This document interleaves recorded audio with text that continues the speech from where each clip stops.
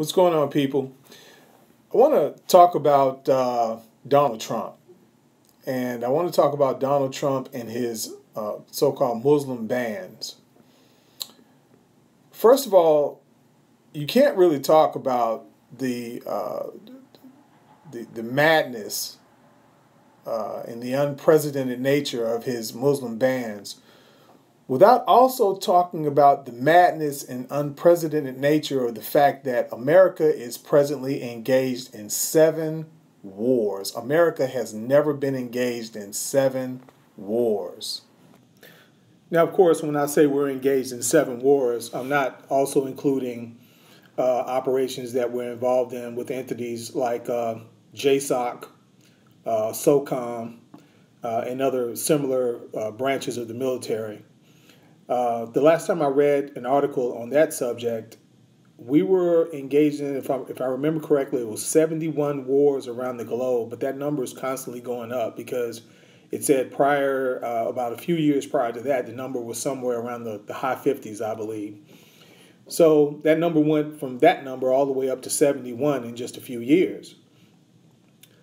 So, all in all, we're probably engaged militarily uh, in probably about 80 to 90 theaters. I'm just guessing that the number is probably still, you know, it's gone up since I last read the article. Now, we care so much about these people being able to come to the United States, and I'm not saying that's wrong. But I find it strange that so many people care about these people being able to travel here but those people don't seem to care so much about the fact that we are subjecting these people to a horrific way of life by constantly bombing the shit out of their countries. I mean, I've read so many stories where people talk about how their family was here one moment and then the next moment an entire family is dead. We have created so many orphans around the globe. It's just, it's just deeply saddening to even continue to think about it. I mean, just just imagine that you're you're here with your family one minute, and the next minute, all of them, all of them are dead. There's so many situations like that. The children, the elderly, your wife or your husband or whatever. There's only you left, and that's it. And this is what we subject these people to. I was reading a story about people who live in these countries that were constantly illegally droning. And so, you know, you're just walking down the street and these things are constantly flying overhead and you don't know whether they're going to strike or not. You can hear them almost on a daily basis, but you don't know whether they're going to strike. We're killing people in weddings, we're striking nurseries, hospitals, the whole nine.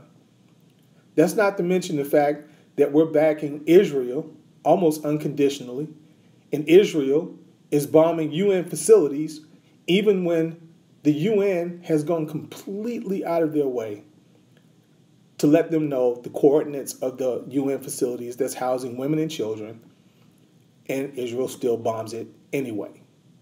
We're backing that.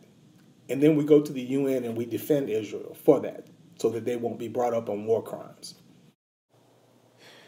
Now, while what Donald Trump did as far as banning uh, it's sort of unprecedented in a couple of ways.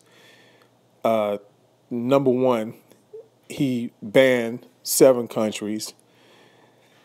Uh, don't really want to give him too much of a, a hard time about that because we are currently at war, as I was saying before, with seven countries. We have seven major wars going on right now. And so, I, you know, you just got to kind of assume that as time goes on, if this thing gets worse, there are going to be some unprecedented things that's going to happen. Now, what he did that was really crazy was with the green card holders and people who had a legal right to be here, uh, they quickly backed off of that. But he, by no stretch of the imagination, is the first one to ban. You had Jimmy Carter, who uh, banned uh, Iranians from enter- entering the United States during the hostage situation. You had Bill Clinton, who banned uh, Haitians from entering the United States, though he promised he would help them to actually come into the United States.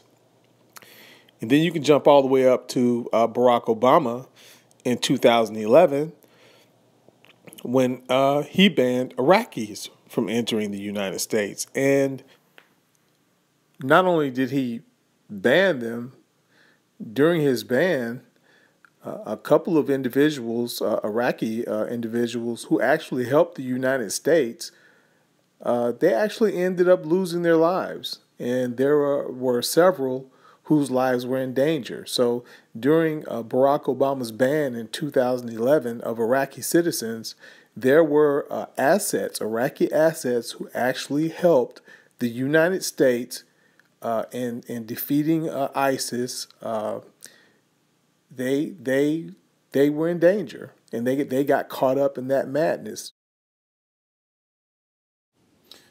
So now we move to a situation that happened uh, in 2015, where Barack Obama and his White House wanted to uh, ban Syrians. Now, I'm not going to get into how long it was supposed to be, but they wanted to ban Syrians from entering the United States. And it wasn't just Barack Obama, there were a lot of top leading Democrats who felt the exact same way. You had uh, Dianne Feinstein, uh, you had Chuck Schumer, who called it a, a pause, which is political speak, because it, it was really undetermined as to how long they would be banned from the United States. And I guess he figured the word pause would be a better word to use. Uh, and you had Joe Manchin. Joe Manchin wanted to stop them from entering the United States, period, indefinitely.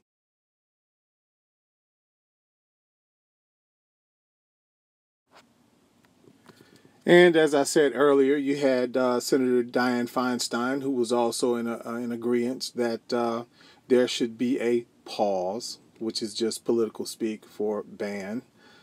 Uh, here the article says longtime Senator Dianne Feinstein, the ranking member of the Senate Intelligence Committee, warned in a statement Tuesday we need to be very careful about Syrian refugee admissions.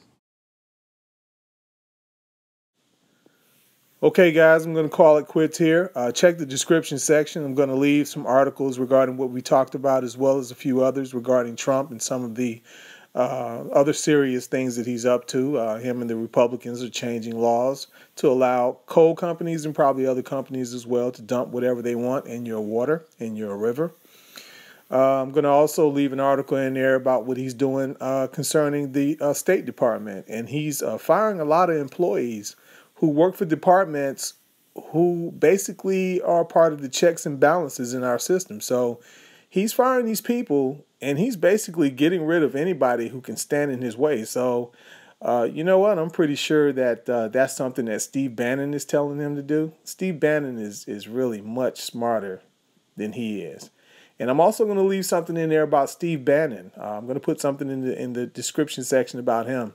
Please read that if you don't read anything else. This, this guy is this guy is really the president. To be perfectly honest with you, and uh, he he he's a bigot. I have to go about I have to go by what comes out of his own mouth. You know, some people say uh, he's a, a, big show.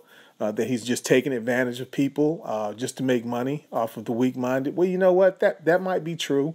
Uh, I know we have uh, one gentleman. I forget this guy's name. Uh, I'm gonna I'm gonna look that up too and see if I can throw that in the uh, description section. Some guy that's kind of like Bannon, and uh, come to find out he's a fraud. You know, uh, he's a big Jew hater, but come to find out his wife is is Jewish. So. the neo Nazis are real upset with that guy, but people are saying that Bannon is basically the same way. But you know what? Look, I'm not going to read the guy's mind. I'm just going to be safe and go off of what he says he is. And according to him, he's a big old bigot. So I've actually heard some of the guy's shows. I heard some of the things he said. And uh, look, he, he's an open bigot. And when a person is an open bigot, who am I to say they're not a bigot? So I'm just going to roll with that. All right. So check that out. All right, guys. And uh, if you like the video, hit the subscribe button. And uh, I'll see you guys later.